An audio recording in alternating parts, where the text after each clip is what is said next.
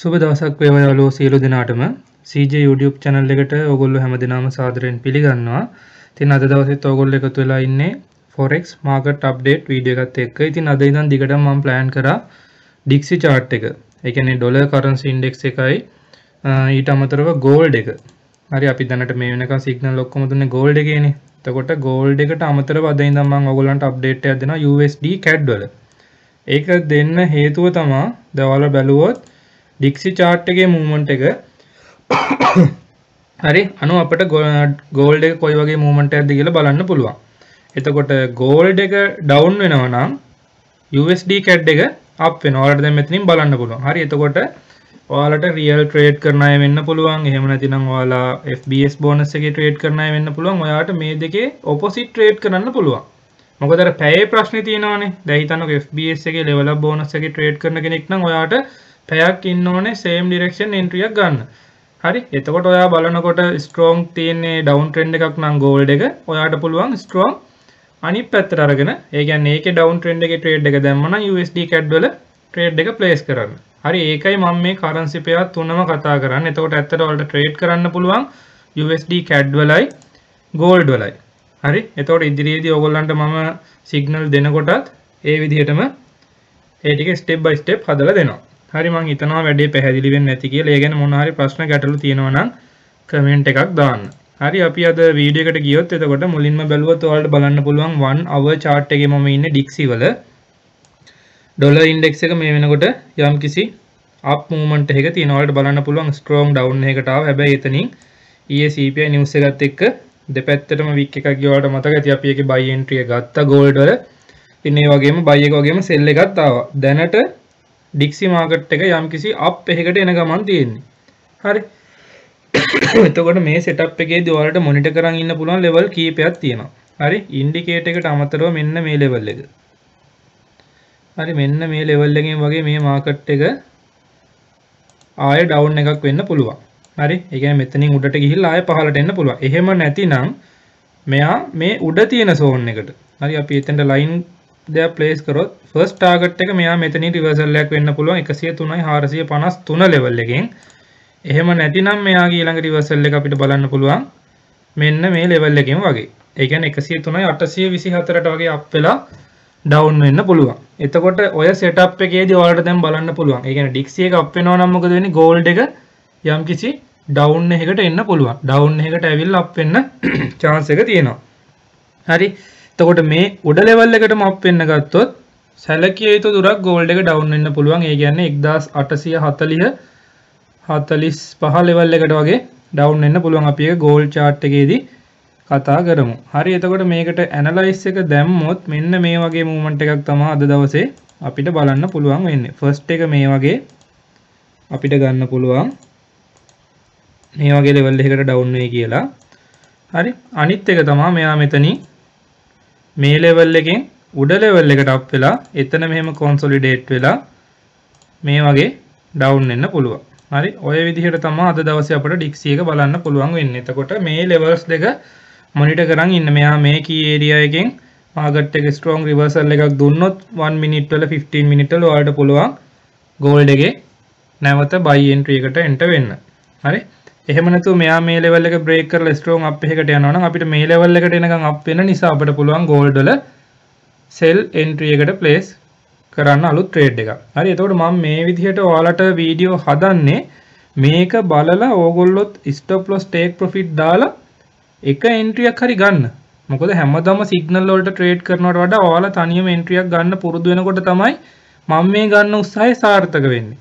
හරි එතකොට FBS level up bonus එක ගන්න ගමන් ඔයාලා තනියම ට්‍රේඩ් කරනවා. ඒ ට්‍රේඩ් වලින් ඔයාලා යමක් ඉගෙන ගන්නවා. අනිවාර්යෙන් stop loss take profit දාලානේ ඔයාලා entry ගන්න. එතකොට loss වුණොත් අපි loss එක recover කරමු. එතකොට real එකට එනකොට ඔයා trading ගැන යම්කිසි knowledge එකක් අරගෙන තමයි එන්නේ. අන්න ඒක තමයි වෙන්න ඕනේ. හරි එතකොට ඔය වගේ movement එකක් තමයි තියෙන්නේ. අපි බැලුවොත් දැනට gold එක. හරි ඔයාලට බලන්න පුළුවන් gold එක strong buy එකක් සහ strong sell එකක් ගියා. ඉතින් දැනට තියෙන setup එකත් එක්ක ඔයාලට පේනවද මෙන්න මේ area එක ගත්තොත් පොඩි sideway movement එකක්. ඒ කියන්නේ එක තැන market එක consolidate වෙවි යනවා වගේ movement එකක් තියෙනවා. හරි ඒකත් එක්ක මෙයා මේ level එකකින් හරිනම් buy එකකට යන්න ඕනේ. ඒ කියන්නේ දැන් මේ ට්‍රේඩ් වෙන 1851 52 ලෙවල් එක අපි මේක බොක්ස් එකක් මාක් කරොත් මෙන්න මේ ලෙවල් එකෙන් මාකට් එක සැලකිය යුතු බයි එකක් යන්න ඕනේ. හරි ඒ සැලකිය යුතු බයි එකක් කියන එකේ අදහස් කරොත් ඒකේ TP විදිහට ගත්තොත් ෆස්ට් TP එක අපිට මේ හයි එක ගන්න පුළුවන්. ඊට පස්සේ අපිට සෙකන්ඩ් TP එක මේ ලෙවල් එක ගන්න පුළුවන්. තර්ඩ් TP එක විදිහට අපිට මෙන්න මේ ලෙවල් එක ගන්න පුළුවන්. හරි? එතකොට 1890ට වගේ අප් වෙන්න chance එකක් තියෙනවා. හැබැයි මතක තියාගන්න තාම strong down market එකක් තමයි තියෙන්නේ. එතකොට මෙයා මෙතනින් reversal එකක් දුන්නේ නැතිනම්, ඒ කියන්නේ 1850 මේකේ අපි bottom line එකත් mark කරගමුකෝ. මෙන්න මේ level එකේ. ඒ කියන්නේ 1844 වගේ. හරි? low එකටම ගත්තොත් මෙන්න මේ වගේ setup එකක්. මේ වගේ setup එකකින් market එක අපට බයි එකක් ගන්න පුළුවන් හැබැයි ඔයාලට බලන්න වන් වන්නව චාට් එක මෙන්න මෙතන හැදිලා තියෙනවා ඉන්ගෝල්ෆින් පැටර්න් එක විදිහට ගන්න පුළුවන් බලන්න ස්ට්‍රෝං බෙයාරිෂ් කැන්ඩල් එක. හරි එතකොට එතනින් ඔයාලට පේනවා සෙලර්ස් ලගේ ලොකු ප්‍රෙෂර් එකක් තියෙනවා මේ වෙලේ මාකට් එකේ. හරි එතකොට හොඳ ස්ට්‍රෝං එන්ට්‍රි එකක් මෙතනින් සෙල් එන්ට්‍රි එකක් අපට මිස් වෙලා තියෙනවා 1859 සෙල් එකක් ගත්තා නම් මේ වෙනකොට ඔයාලට බලන්න පුළුවන් සාමාන්‍යයෙන් පිප් 90ක 80ක වගේ ප්‍රොෆිට් එකකට ප්ලෑන් කරලා ඔයාලට ට්‍රේඩ් එකට එන්ටර් වෙන්න පුළුවන්කම තිබිලා තියෙනවා. හරි දැන් තියෙන සෙටප් එකෙන් අපිට සැලකිය යුතු බයි එකක් ගන්න පුළුවන්. සාමාන්‍යයෙන් මාකට් එක පොඩි අප් එකකට එන්න පුළුවන්. හැබැයි මම ඔයාලට ගෙස් කරන්නේ, ඒ කියන්නේ මම එන්ට්‍රියක් දෙනවා නම් දෙන්නේ මේකේ මිඩල් එකටවත් අඩුම එන්න ඕනේ. මෙන්න මේ ලෙවල් එකට. ඒ කියන්නේ 1800 49 48 අතර වගේ ලෙවල් එකකදී. එතකොට ඔයාලට මෙතනදී ප්ලේස් කරන්න පුළුවන් බයි එන්ට්‍රි රිස්ක් එකක් අරගෙන දෙකක් එකක් මෙන්න මේ විදිහට අපට ප්ලේස් කරන්න පුළුවන් සාමාන්‍යයෙන් අපට මේකේ TP එක හෝල්ඩ් කරන්න පුළුවන් මෙන්න මේ උඩ ලෙවල් එකටම ඕක එක සෙටප් එකක් හරි අපි ඒක මේ උඩ හයි එකට ගන්න නැතුව ඔයාලට මෙන්න මේ ලෙවල් එකට වගේ ගන්න පුළුවන්. ඒ කියන්නේ 1884 85 ලෙවල් එකට වගේ.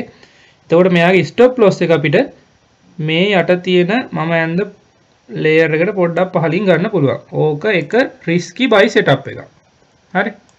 මොකද මේකේ රිස්ක් එකක් තියෙනවා. අනිත් එක තමයි මාකට් එක මෙතනින්ම රිවර්සල් වෙන්නේ නැතුව ආයේ මේ පහළ ලෝ එකටම ආවොත් ඔයාලට ආයේ මේ ඩවුන් එකෙන් තව බයි එන්ට්‍රියක් ගන්න පුළුවන් මෙන්න මේ වගේ. හරි. ඔන්න අනිත් සෙටප් එක. එතකොට මාකට් එකේ එතකොට අද දවසේ ගෝල්ඩ් වල මම බලාපොරොත්තු වෙන්නේ මෙන්න මේ වගේ සෙටප් එකක්. මේක සීයට සීයක් නිවැරදි නොවෙන්න පුළුවන් හරි හැබැයි අපිට බලන්න ඉඳලා මේකෙන් එන්ට්‍රියක් ගන්න පුළුවන්. එතකොට ඔයාලා දැන් මොනිටර් කරන් ඉන්න ඕනේ කොයි ඒරියා එකද? ඔයාලා බලන්න ඕනේ මෙන්න මේ ලෙවල් එක. මම මේ බොක්ස් එකක් මාක් කරලා තියෙන්නේ 1850යි 78 1849යි 26. ඔන්න ඔය ඒරියා එකෙන් මාකට් එක රිවර්සල් එකක් දෙනවා. ඒ කියන්නේ දැන් මාකට් එක කඩාන පහළට එන්නේ ඩවුන් එකකට එන්නේ. එතකොට මේ ලෙවල් එකෙන් මාකට් එක අප් එකට රිවර්සල් එකක් දුන්නොත් ඔයාලට 15 මිනිත් වලින් 1 මිනිත් වලින් වගේ බලලා හොඳ කන්ෆර්ම් එන්ට්‍රියක් ගන්න පුළුවන්. අනිවාර්යෙන් ළඟ ස්ටොප් ලොස් එකක් දාගෙන ට්‍රේඩ් එකට එන්ට වෙන්න. හරි. ඕක තමයි අද දවසේ මම දකින ගෝල්ඩ් වල මූවමන්ට් එක. හරි. එතකොට මෙයා මෙන්න මේ ලෝ එක කැඩුවා.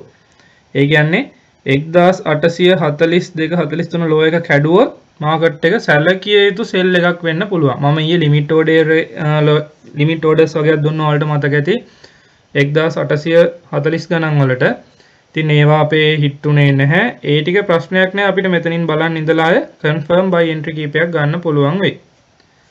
හරි ඔය සෙටප් එක තමයි එතකොට අද දවසේ ගෝල්ඩ් වල තියෙන්නේ. අපි බැලුවොත් අද දවසේ කතා කරන අලුත් මාකට් එක USD CAD හරි? ඇතකොට ඔයාලට තේරෙන්න ඕනේ. දැන් මෙතන මම මොකද්ද මුලින්ම කතා කරේ? ඩික්සි එක යම් කිසි දුරක් අප් වෙලා ඩවුන් වෙනවා. හරි? ඩික්සි එක යම් කිසි දුරක් අප් වෙලා ඩවුන් වෙනවායි කියපු නිසා මම කිව්වා මොකද්ද? මෙතන ගෝල්ඩ් එක යම් කිසි දුරක් ඩවුන් වෙලා අප් වෙනවා එතකොට ඩොලර් එකට සාපේක්ෂව ඒකේ ඔපොසිට් එක තමයි ගෝල්ඩ් වල වෙන්නේ දැන් ගෝල්ඩ් වලට වෙන එකට වඩා අනිත් පැත්ත තමයි මෙතන වෙන්නේ එතකොට මේකේ අපි කතා කරේ ඩවුන් වෙලා අප් වෙයි කියලානේ එතකොට USD කැඩ්ඩල මොකක්ද වෙන්නේ අප් වෙලා ඩවුන් වෙයි කියන කන්සෙප්ට් එක. එතකොට ඔයාලා මේ දේවල් ගැන පොඩ්ඩ පොඩ්ඩ ඉගෙන ගන්න. එතකොට ඔයාලට පුළුවන් ස්ට්‍රෝං එන්ට්‍රි කීපයක් ගන්න. හරි ඔයාලට පේනවා දැන් මේකේ මෙතන ඉන්ඩිකේට එක මාක් වෙලා නැති OB ලෙවල් එකක් අපිට මෙන්න මේ ඒරියා එක ගන්න පුළුවන් key resistant area එකක් විදිහට. හරි. first target එක මෙයා මේ උඩ ලෙවල් එකට ඇවිල්ලා මෙන්න මෙතනින් බවුන්ස් වෙලා මාකට් එක ලොකු සෙල් එකක් එන්න පුළුවන්. ඒ සෙල් එක එන්න පුළුවන් ලෙවල්ස් කො ඊට පස්සේ ඒව බලනවා TP level මේ first TP එක. හරි. ඊට පස්සේ second TP එක මෙන්න. third TP එක මෙන්න. හරි. ඔය වගේ ලෙවල්ස් වලට සෙල් එකක් එන්න පුළුවන්. එතකොට අපි සෙල් එකක් කන්සිඩර් කරනවා නම් මෙන්න මේ ලෙවල් එකෙන් අපට මේ TP එකට හිට වෙන්න දාලා ගන්න පුළුවන් OB එක මෙන්න මේ weak high එකට වැඩිය. කියන්නේ මෙතන මේ ඇවිල්ලා තියෙන high එකට වැඩිය පොඩ්ඩක් උඩින් තියන්න පුළුවන් stop loss එක. ඔය එක setup එක. ඒ කියන්නේ market එක මෙතෙන්ට up වෙලා මෙතනින් down වෙයි කියලා.